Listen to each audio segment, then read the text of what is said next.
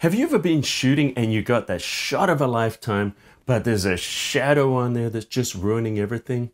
Well, right now I'm going to show you how to remove that shadow inside of Photoshop.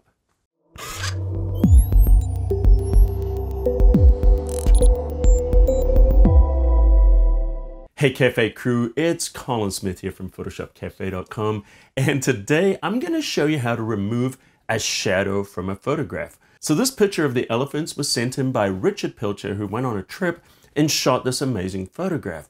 And now he asked me, is there any way we can remove the shadow from the baby elephant? I've got good news for you, Richard. Yes, we can. And right now I'm going to show you how to do it. So the first thing I'm going to do is I'm just going to duplicate the background, Command J. Now this is for two reasons. One, it gives me a layer to mask out if I need to. And number two, it enables me to show you the before and after. All right, so now we're gonna go up under filter and we're gonna go to the camera raw filter. A big difference in Photoshop CC from CS6 was putting camera raw as a filter and honestly this is the most useful thing in Photoshop. I use it all the time. So we're clicking on camera raw filter. All right, so the first thing we wanna do is we wanna isolate this area of the shadow.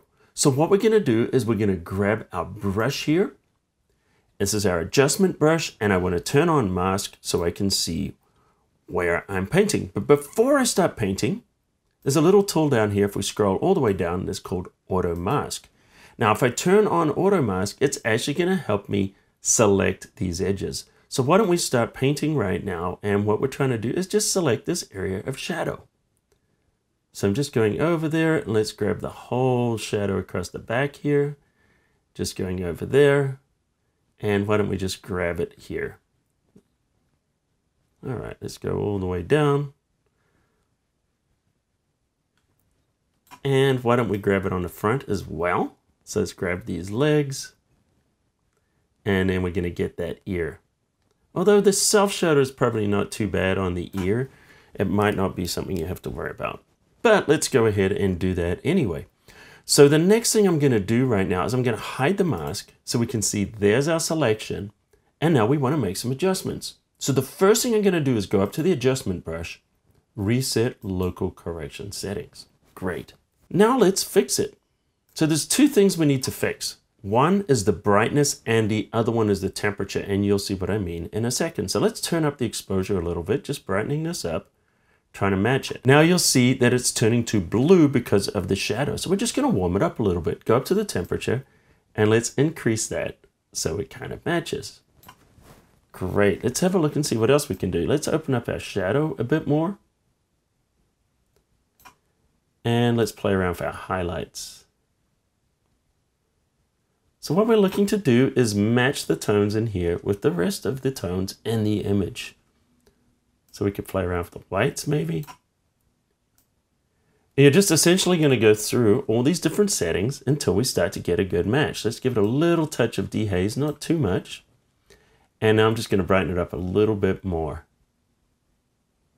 Don't worry about the edges. We're just looking right now to match the middle. Okay, let's go into saturation and just give this a little boost of saturation because we'll be losing a little bit of that in the shadows.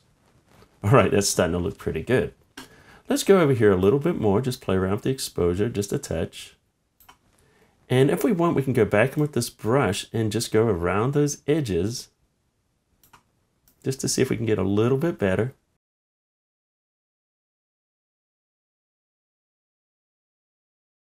Okay, great. This is a good starting place. Now we're just going to click OK to apply it. Okay, so we're starting to get somewhere if we look at it. Now we've brought out the details in there, but these edges are looking a little bit strange. So now we want to fix the edges, and we're just going to do this by grabbing the Spot Healing Brush tool. And make your brush nice and small, and we're just going to go over these edges here.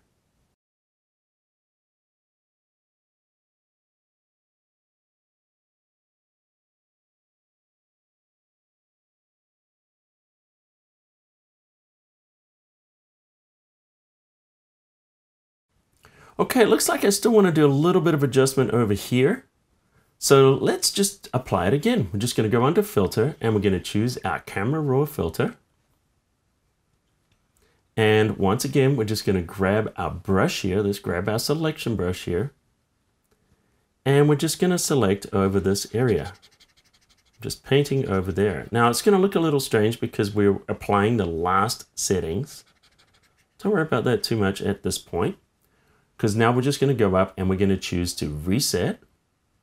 And all we want to do is just brighten this up a little bit. So let's go to the exposure and just give it a little push.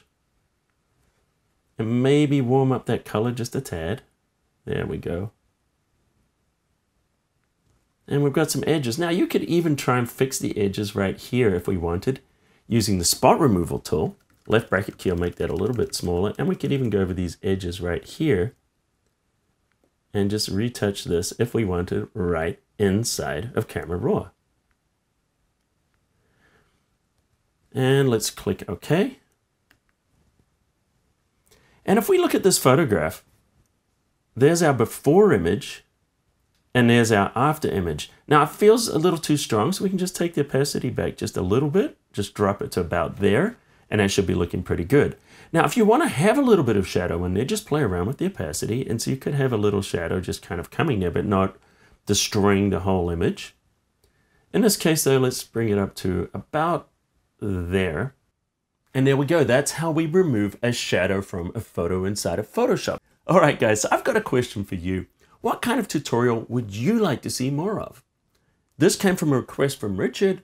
You know, do you have a request? Let us know in the comments underneath. Otherwise, you know, do you prefer photography, design, video? Let me know what kind of tutorials you guys would like to see here.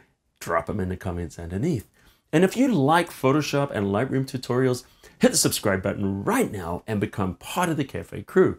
You'll get a new tutorial from me every single week. Ring the notification bell so you know when I upload which is usually every Tuesday. So anyway, guys, you know what I'm going to say next? If you like this, smash the like button into dust.